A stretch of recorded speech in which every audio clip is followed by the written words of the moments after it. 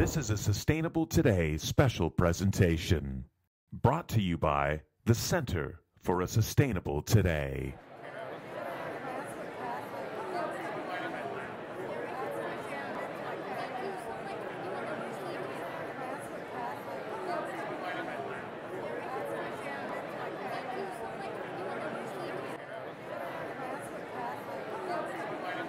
Charles Eisenstein is here to share news. Thanks.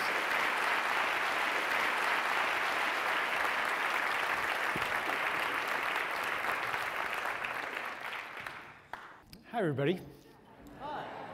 So I always wonder how to begin um, coming into a new city where I don't know people and what's on everybody's minds. So I generally, uh, hopefully, I, I am able to have a meal with people before uh, before I begin or have some conversations. And so I'm just going to kind of pick up on a couple of things that came up at dinner. Um, uh, Trevor and, and Kent were talking about some of the uh, larger events that they'd had before, and, and they asked me to guess what Evolver events drew the most people.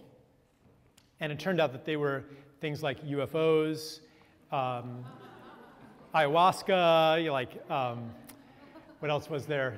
Schizophrenia, like, like kind of um, mental, like these kind of, well, what, what, what unifies them? Well, it was, it's about coming from one world and going to another world. And today I'm going to talk a bit about how money fits into all that.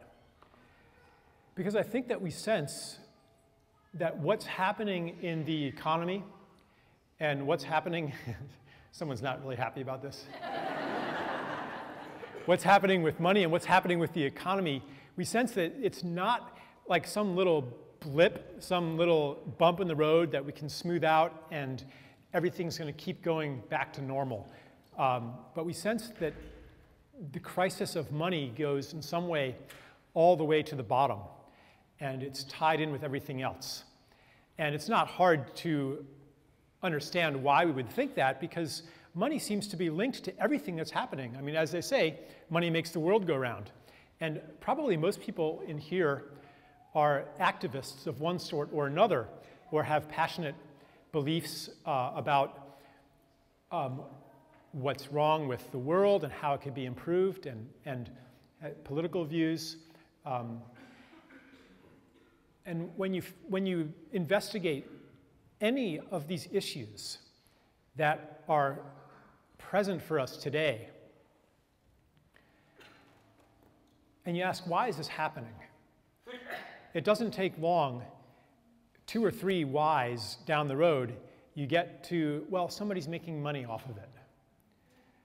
You can't escape money. You, can't, you really can't almost talk about anything without talking about money. And in all of these issues, it seems that money isn't our friend. The beautiful things that we want to create, the healing that we want to make happen on this earth, money is usually on the other side. You can make a lot of money, for example, by becoming oh, a lobbyist for a petrochemical company, uh, lobbying Congress to relax restrictions on dumping toxic waste. There's a lot of money in that, but there's not a lot of money in going and cleaning up toxic waste. Money isn't your friend uh, when you're trying to heal the planet, or even on a personal level, often the beautiful things that you want to do or, the, or just the things that you're in love with, there's no money there. Say you're an artist and you just want to create this beautiful art and make beautiful things, but uh, have you ever you talk to the career guidance counselor and the counselor says, well, you could go into graphic design. like, like, why? Why should it be that way? Why should money be not our friend? Because really, money, it's just a social agreement. It's, at bottom, it's what society says has value. Why have we decided that paving over a wetlands has value and restoring a wetlands does not have value? What is it about money that makes it into a force for evil? That's, the, that's kind of the starting question in, in this book. And it's not a rhetorical question, the question is answered. And the answer then points the way to how money could be something else, how money could be something that you might call sacred. In other words, money being aligned with the beautiful things that, that, that we're coming to value today, the things that we want to create on earth. The other reason I call it sacred economics is a bit more general. It's about healing this divide between spirit and matter, this division of the world into two parts one material or fleshly, and the other uh, spiritual or of consciousness or of the mind, these two separate realms. Really, what we need is to treat the earth as sacred, and the earth is spiritual, and all matter is spiritual. It's not a matter of becoming less materialistic, but I would say becoming more materialistic, loving matter more, loving the earth more, and ending the separation between spirit and matter. Um, and, and these sound like kind of generalities, but I'm going to make them, I'm going to try to make them very specific today. The problem with money today, and this is simplifying it a bit, but the problem with money today has to do with the way that it's created and the way that it circulates. It's created as interest bearing debt. There's other problems with money too, besides this, but this is the big one. Um, so it's created as interest bearing debt. Uh, M0, as they call it, base money is created when the Federal Reserve buys an interest bearing security on the open market, like a treasury bond or something like that, or you know, junk mortgage things. Um, and so the Fed's balance sheet, the amount of, of these interest-bearing assets on its balance sheet is always greater than the amount of money, than the amount of base money. The same thing is true of M1 and M2, other categories of money that banks lend into existence. So if I'm a bank and you come to me for a loan, say you want to borrow $10 million. Maybe you have a good business idea. And I say, sure, here's $10 million. You owe me $20 million over maybe 10 years, right? Well, maybe that's not a problem because you're going to build a solar panel factory and you're going to, or you're to, you're to um, create an awesome restaurant and give people lots of great food and they're to be happy to pay for it and you're to make the world better okay? And you're to pay me back that $20 million and you're to get rich yourself, okay? Right? No problem, right? The problem comes when everybody's in the same boat because all money originates in the same way. So, in other words, there's always more debt than there is money. In other words, everybody is always in competition with everybody else for never enough money. It's mathematically part of the system. It's built that way no matter how much, you know, even if you, you say lots of New Age mantras about abundance and prosperity and there's enough for everybody. and I'm not actually disparaging those, they're, they're kind of an easy target. Um, and they might be true for one person, but the nature of money is that it has scarcity built into it. It's like a game of musical chairs. No matter how abundant in your attitude you are, there's never enough chairs. There's always, that's the way that the system is set up. We're always in competition for not enough money. The only way you can pay back your 20 million is to take that from somebody else. Everybody's in that boat. Now, you may not actually be an entrepreneur, maybe you're just going to work for somebody. And why will they give you a job? It's because they're going to help you make that money. Ultimately, all money originates in this way. Now, the situation isn't quite as bad as I said because there's a complicating factor here, which is growth. So everybody's getting 20 million, I mean $10 million, and they have to pay back 20 million. That means half the people are going to have to go bankrupt, right? Well, no, because by the time all of these debts come due, I'm going to have created even more money. So the old loans will be paid off with the new loans, but that creates even more debt. But that's okay. I'll create even more money in the future, forever and ever and ever. Yeah, right? Sounds quite reasonable. And it would be reasonable if we had an infinite planet. If we could continually create new goods and services. The reason that you don't like Monday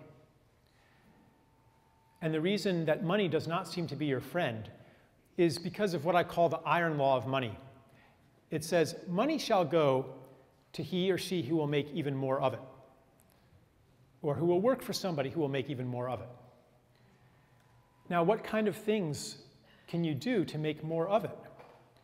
Well, you could maybe drill for some oil or cut down a forest or create a service to sell to somebody. Whatever it is, though, it has to be a service that is sellable for money. So if you go to the bank and you say, you say, I'll be the banker today, okay? So you say, Charles, I'd like to borrow $10 million to restore this wetlands. And I'll be like, okay, but what product are you going to create? Where's your business plan? And you say, well, I really am, I'm, I'm not going to sell it. That's the guy over there who wants to pave it over. I, I don't want to do that. I'm, I'm sorry, I can't give you that loan. Only if you make a product out of it. Say that you want to teach people um, how to do things for themselves. Say you, say you want to start a neighborhood childcare co-op so people don't have to pay for daycare anymore. Say that you want to go and just help homeless people. Like say you have some beautiful thing that you want to do. If you're not making products and selling them, then no money for you. Now, there's some exceptions to this. They're called gifts. Sometimes people will give you money for doing something even though you're not going to make them more money in return. And that's actually the key to right livelihood today, if you don't want to participate in this conversion of the world into money. Okay, so what I'm, what I'm saying basically is that money forces us into competition, creates artificial scarcity, separates us from each other, causes and necessitates endless growth. Uh, the other thing it does is it destroys community. The reason it destroys community is that community is woven from gifts. You can't have community without gifts. As you may have noticed, if you go to suburbia and you try to, to create community, as I did when I moved back to America after living abroad for a long time. And I thought, well, I'll start community in my neighborhood and I'll be really nice to people. I'll invite them over to my house. And eventually I realized why it wasn't working. It was because everybody underneath had the unspoken knowledge that I don't need you. Because I meet all my needs by paying for them. And in fact, I don't want to need you. I want to be financially independent. I don't want to have to depend on anybody. I don't want to have to owe anybody anything. But real community isn't like that. Real community, you need each other. To, you need, need each other to, to supply the, the necessities of life and, and the pleasures of life too. So you might go, so you go back a generation. In my childhood, there were a lot of things that we didn't pay for that people pay for today. For example, childcare. Like we got home from school and we ran around the neighborhood and we could go into anybody's yard. Everybody's yard was our yard, except for that mean lady. and we could even go into people's houses and get fed snacks. So childcare was generally not a, a service in the economy. Neither was cooking. Today, two thirds of all meals, I've read, are prepared outside the home. You go to the supermarket, you get the deli food, you take it home, put it on the table, that's dinner. But when I was a kid, mom cooked dinner. She bought raw ingredients and she cooked dinner. So we didn't pay for food preparation. And you always saw neighbors helping each other out with projects. People would maybe even fix their own roof. They wouldn't necessarily hire a roofer, but you would fix your own roof, you do your own projects, and people would help each other out, and they wouldn't pay for that either. You take it back another generation before television and before well, yeah, say before television, to my father's generation, when he was a kid, he said every Sunday the whole neighborhood would get together and they would sing folk songs and play guitars. so they, yeah, right, so they weren't paying for entertainment. We didn't pay for play when I was a kid. We'd go outside and we'd play with each other. we'd, we'd, create, we'd create worlds of the imagination. You could call it the kingdom of childhood. And now I try to get my kids to go outside and play, and there aren't kids outside anymore because they're all inside, and they're paying to play. They're playing, in fact, they're having these online adventures, World of Warcraft and RuneScape and things like that. Uh, Minecraft is the new one. And they're, Minecraft, you build things, like you build forts on the computer. You, yeah. And, and World of Warcraft, you have adventures. You travel around and have adventures. So we're paying for the things that we once got for free. Take it back three or four generations, like people didn't pay for housing very often. They built their own houses. They sang all of their own songs. They created their own dramas. They, um, they didn't pay for medicine. Various village grandmothers knew, knew about herbs, and they did most of the medicine. Well, all of this is invisible to economists. All of these things that we do for each other that create community, that, that make us value each other, these are invisible to economists. And economists would say, well, when you start paying for childcare and paying for food and paying for medicine, then you're all better off. GDP has gone up. GDP goes up, and there's more lending opportunities. That's what the politicians are talking about when they're saying we've got to boost consumption, boost demand to increase economic growth. Because now, hey, here's a business opportunity. You can start a childcare, a childcare business. You can start a lawn mowing business. You can start a house cleaning business. You can start a food preparation business. You can start something and make people pay for things that they once did for, that they once did for each other. So basically what's happening is you're strip mining community. So um, now let me tell you the good news, okay? Okay. All right. But you know, um, I, I, like to go into the, to, to the bleakness of it first. Um, because like I'm actually really optimistic and I'm, I'm painting um, a really beautiful vision I think it's beautiful, at least, of what our society could look like. The optimism that I express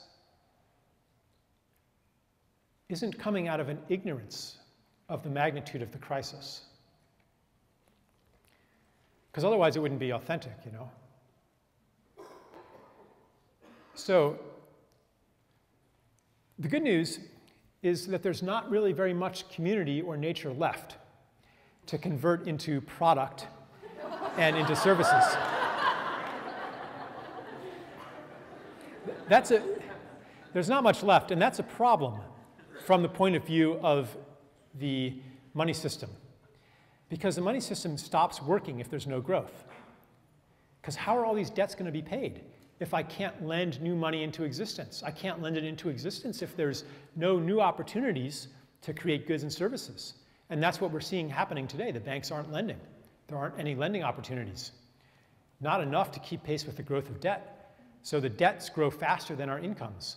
When that happens, the system can stay solvent for a little while by, you know, if I can't take from your increased income, I can take the things you already have.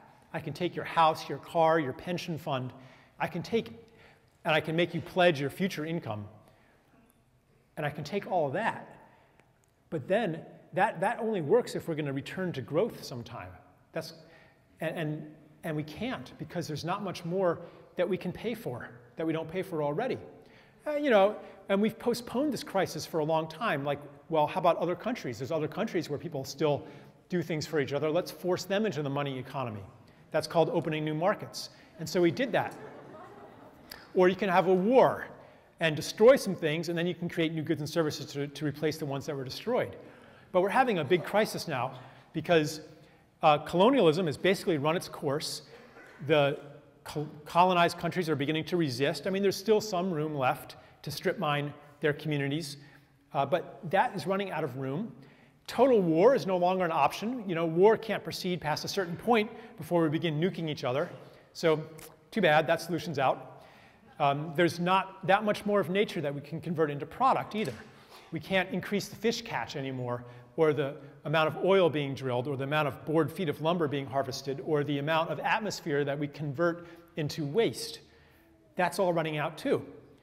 So when the politicians say we've got to reignite demand, they're trying to do something that's no longer possible, and it can only be done for a little while longer at a higher and higher cost. Like, yeah, you know, if we build the Keystone Pipeline and, and, and you know, do some fracking and mountaintop removal and drill in the wildlife refuge, you know, maybe we can eke out a few more years of tepid economic growth, but not enough to make the system really work. So the system is falling apart. And if you want to make it fall apart faster, then you can protect anything that's good and beautiful uh, because that deprives the system of food. So if you stop, yeah, right, if you stop a road, um, stop some development from happening, uh, teach people how to do things for themselves, teach people how to heal themselves, uh, spread knowledge about herbal medicine, spread knowledge about nutrition, reskill, have reskilling workshops, learn how to cook again, uh, teach people how to garden again, do permaculture, all that kind of stuff, that deprives the machine of its food. It hastens the crisis, but it also mitigates its severity because it means that there will still be some wealth left after things fall apart. And the collapse will look more like, less like a collapse and more like kind of a, well, you know how it is when things fall apart, don't you? That's really the only time that I ever change my life. In fact, usually, even when things fall apart, I don't change right away, but I try to make them work again. And then at some point, I realize that that's never, never going to happen. And eventually, I'm like, okay, I'll try a new way. Um, and that collapse looks different for different people. For some people, it's the deathbed. For maybe a severe alcoholic, the collapse might have to be almost total. I think it really depends on how much love that person got in their lives.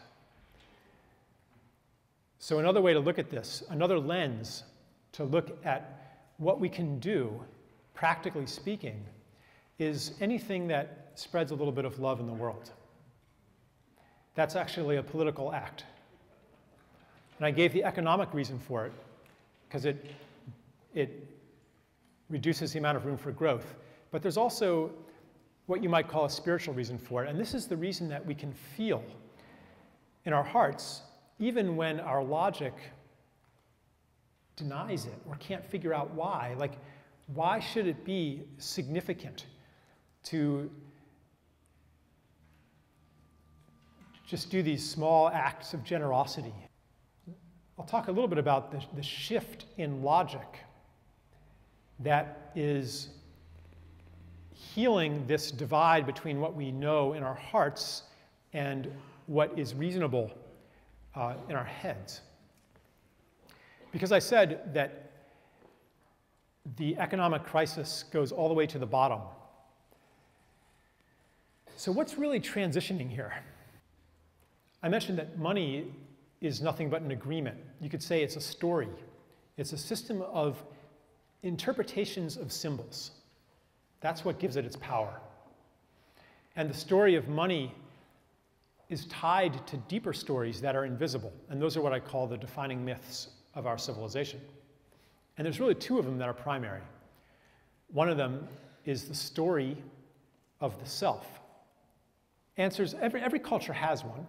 And it, it answers the question who are you? What is it to be human? What's, and therefore, what's important in life? What's valuable? What's the purpose of human life?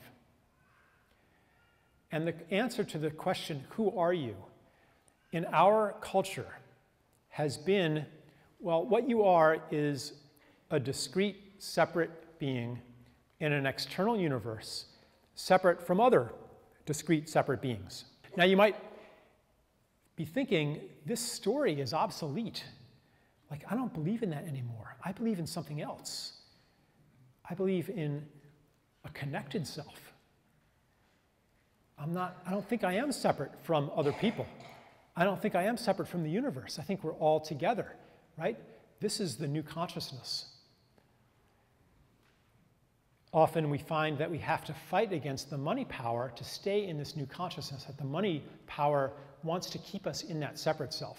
It says, oh, you can't, you won't be okay if you act as if other people's interest were your own interest. What about me? So money pushes us away from this new consciousness. Uh, the other story that creates our civilization is the story of the people. And that answers also a lot of basic questions. Where did we come from? Where are we going? What's the purpose of humankind on earth? What's important, again, what's important in life? Why are we here? And that story I call Ascent. And it says that we started out as helpless animals. We had no science, therefore, we were ignorant. All we had was superstition. And we had no technology, therefore, we were helpless. But thanks to our big brains, we developed science and technology and came to dominate the world. We became more and more through history one triumph after another, we became the lords and masters of nature. And we transcended the limitations that bind other animals. We harnessed natural forces. First, we harnessed the animals, we domesticated the plants, and then we developed machines. And our control grew more and more perfect. And then we took science and we began to apply it to the human realm political science, social science, economics. And the story says someday our control will be complete. Someday we will have conquered the atom, we will have nanotechnology, we will engineer, we'll, we'll overcome death, we will synthesize food. We won't even need nature anymore. Maybe we'll just have nature in some museums or some gardens. But this is like the science fiction of the 50s, right? Like food will be a synthetic pill, you'll have cities in bubbles, right? Bubble cities, that was supposed to be the future separate from nature. Separation, separation, separation.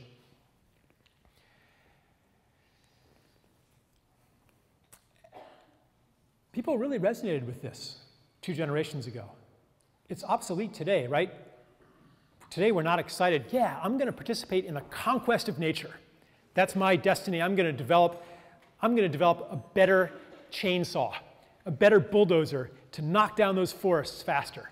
Like most people are not, that's, we're not resonating with that. That's still where the money is, though, because money is part of the story of ascent, because it compels endless growth.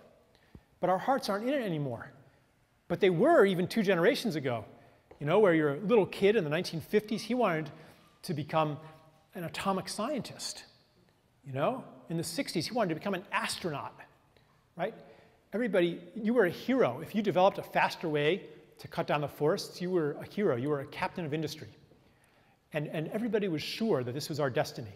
And we still, invisibly, that myth still has a lot of power.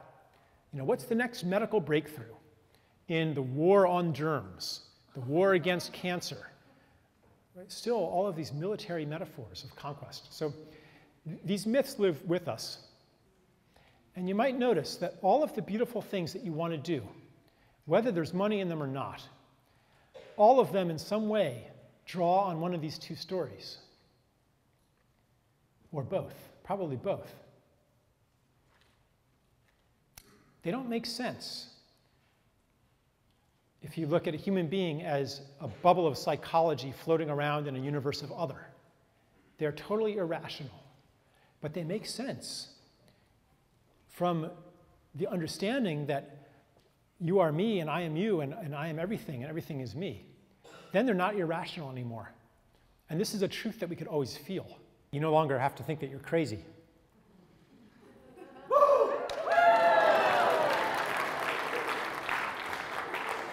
We still have uh, a journey ahead of us here. Because money and many of our other institutions and many little voices in our own heads are still very much immersed in the old story of the people and the old story of the self.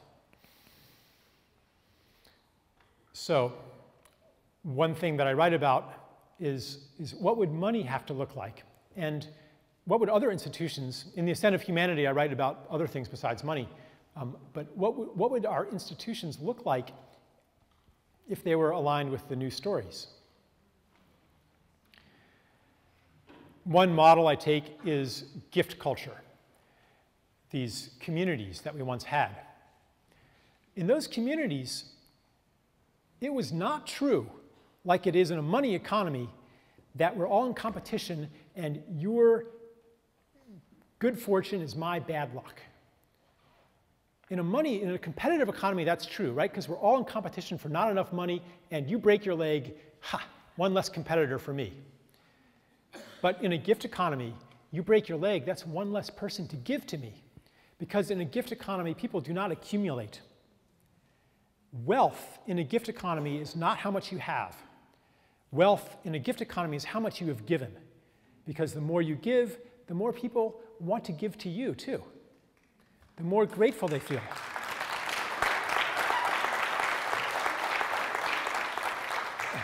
So even if you're a selfish bastard, you still want to be generous. this is so foreign to our thinking.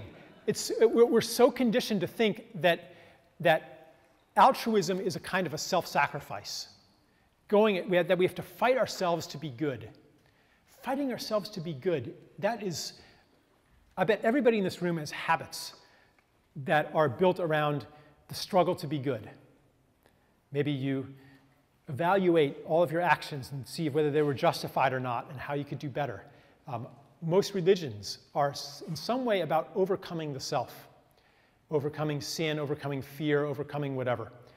Um, it's the war on human nature that, that reflects or interiorizes the war against nature. That's part of ascent. And so we're so used to that. Uh, but in a gift economy, it's not true. So in a gift economy, you don't even need a golden rule in the gift economy because it's self evident. As I give unto others, so they will give unto me. As I do unto others, others' well being, that's my well being too. It's, it's obvious. Because in a gift economy, if you have more than you need, you give it to somebody else who needs it. Not only because you like them, but also because that's where your status and your wealth and your, your positive self image and everything all, all come from. So that's one of the metaphors I draw on in describing what money could look like. And I'm going to, I'll describe it a little bit and then we'll go to questions and answers too. Um, so there's like six or seven pieces of it, including internalizing costs, negative interest, social dividend, localization, peer-to-peer -peer and gift economics, um, um, shifting taxation onto resources and land. Um, there's, there's various pieces of it. I'll, I'll, just go into one of the key pieces here, um, just to kind of give you a flavor for some of the more nitty gritty aspects of this. So it's the negative interest part. Because um, I described how interest on money is what drives this competition and this endless growth. So, what would happen if money didn't bear interest? What would happen if money, in fact, were like everything else in the universe that decayed over time? Or it were like possessions in a gift culture, in a nomadic hunter gatherer culture, that, that you, if you held on to them, they were a burden. What would happen if money were like that too? See, today, money, it violates ecology. Because in ecology, everything cycles back, returns to its source, decays. But nothing's permanent. But money is permanent. It doesn't decay. In fact, you can even make it grow with time. And you can, we can talk about inflation and stuff. There's you know, some complications, but basically you can put your money in a risk-free investment and it will, at least it would appear, last forever. And so we attach ourselves. Money is so linked to self my money, I was ripped off, you know. We attach self to this permanent thing, which kind of leads us to think that maybe we're permanent too. That's our security. We intellectually know that we can't take it with us, but we act as if we could. Okay? And so it violates the spiritual law of impermanence, it violates the ecological law of return. So, what would happen if money decayed? All right, so imagine, see, we have maybe 200, 300 people here. So, suppose right now I'm the richest guy in the room, but it's not a money economy. I'm the richest guy in the room because I have 500 loaves of bread. I'm the richest, and you guys don't have any. So, how do I stay rich? Suppose I'm a selfish bastard. Okay? Well, I can't just keep all the bread because it's going to go stale. And if I do that, in a few days, I will be the lord and master of 500 loaves of stale bread, and everybody's going to hate me. so if I want to stay rich, I'm going to have to, I'm going to have to, well, I could give it away, or I could give you a zero interest loan. Say, here, I'll give everybody a loaf of bread. Nice fresh bread, and if I ever need bread, I will call in that loan. Or if you have bread, you can pay me back. If I say, I'm not going to give you this bread unless you pay me two loaves of bread in return, I don't have the leverage to do that because you know that it's just going to go bad anyway. So that's kind of the, um, the simple version. I mean, this is really, really sacred economics could be called kindergarten economics. Right? It's like if you have more than you need, let somebody else use it. right? I mean, that's. It's,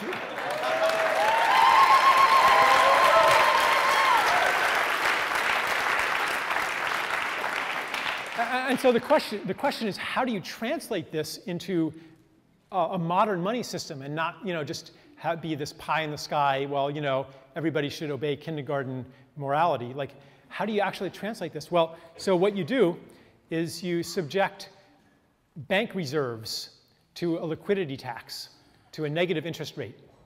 So if, you, if I'm a bank and I have a billion dollars and I keep it in the Federal Reserve and I don't lend it out, it decays at, say, 5% a year. So, and so the, the interest rate floor, called the zero lower bound, it drops now below zero. The zero lower bound drops. So basically, any risk-free investment is going to have a negative interest rate. So the bank now has, it's in its interest to lend at zero interest. The bank still makes money because if you're a depositor, you're going to deposit at maybe negative 4%. The bank will lend out at 0%. So actually, the banking system would work almost the same way. But what would be different is that you wouldn't be able to get richer merely by owning money. And the banking system would eventually change radically. Um, but it's a, it's a very evolutionary change. And it's very close to happening. I think the, the, the central banks are trying to push interest rates as low as they can because it's not working anymore. Lowering interest rates isn't stimulating economic growth anymore. They're pushing them as low as they can, but they can't push them below zero. Um, but that's really mostly a conceptual barrier. There's all kinds of other stuff. I could go on for hours. There's other stuff that come into this. Um, the third part of the book, I told you the first part is the, is the old stories and how money embodies those. The second part is the new stories and what money would look like that were aligned with those. Uh, and the third part of the book then is on a personal level, how do we begin to align ourselves with the new economy and the new myths that underlie it? I think we're all experimenting in this, in how to live according to what is becoming true today. It's new territory for us. Our social institutions and our habits are all of separation. And we really don't even know how to live. A lot of us are really in this place between worlds. We're through with the old world. We're not of that anymore in our consciousness. we're still trapped by some of its intuitions, by some of its structures, but we're really not of it anymore. But we're not in the new world yet either. We're in a very sacred and pregnant place, the place between stories. And I think actually just giving ourselves permission to abide there for a while is really helpful.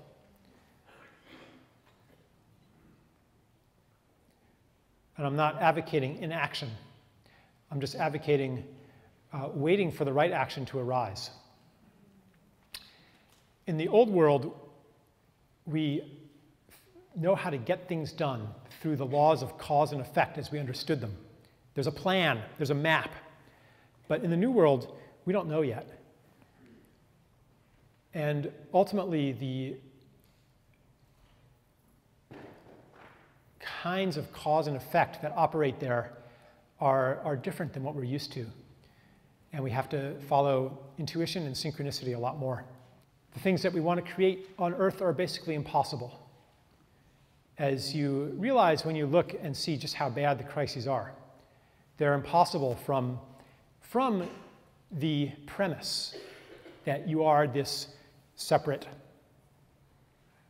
consciousness inside a flesh robot in a world of force and mass that you can only influence through the amount of force that you can direct. I mean, come on, the powers that be have way more force than you do. We have to create miracles, really. A miracle being, it's not the intercession of an external divine agency in violation of the laws of physics. A miracle is simply something that's impossible from an old story and possible from within a new one. It's an expansion of what is possible.